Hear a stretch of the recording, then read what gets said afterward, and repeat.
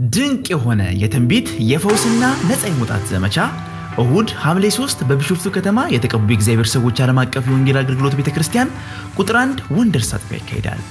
በዚህ የአጋንንትን አሰራር ለመደምሰስና ቀንበርን ለመስበር በተዘጋጀ ልዩ ሳምንታዊ ፕሮግራም ላይ እግዚአብሔር አምላክ በባሪያው አልፎ ለብዙዎች ያልተፈቱ ሚስጥራትን በትንቢት ይገልጣል።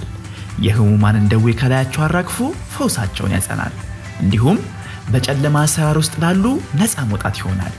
በዕለቱ እግዚአብሔር አምላክ ለምድራችን ቀብቶ የሰጠን ነቢይ ደረሰ ላቀው እናንተን በስልጣን በኃይልና በሞገስ ያገለግላችኋል። ምን ልታረጋት ፈልጋል? አበላሸዋለሁ ኑሮ ልታበላሸው ሊቀጣትና? ተመልከቱ ሶስት ቦታ ብሎ ሰርተንበታል። ባርዳ ወይ! ወርቋን ሁሉ በላችሁ፣ ወይ! እሷን ሁሉ በላችሁ። ሁለት ወር ነው የቀረኝ። ልገላት! ልገላት! አትሂጂ ልገላት ነበረ ዛሬ ይኸው።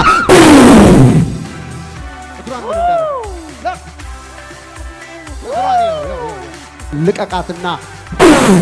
ታዲያ እሁድ ሐምሌ 3 ከማለዳው አንድ ሰዓት ጀምሮ ቢሾፍቱ ቀበሌ 02 ቃጅማ ድልድይ አካባቢ በሚገኘው የቤተ ክርስቲያናችን አጥቢያ በመምጣት የዚህ ልዩ መለኮታዊ ጉብኝት የሚያልፍበት ፕሮግራም ተካፋዮች ሁኑ። ከቅባቱ ውፍረት የተነሳ ቀንበር ይሰበራል። Anointing TV